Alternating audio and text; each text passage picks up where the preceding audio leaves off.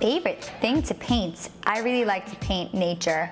Uh, florals, leaves, um, repeat patterns, but not geometric abstractions. I love painting my landscapes. They take forever, but the finished product is just like beyond and like, yeah, anything that stems from nature, for sure. My own photos,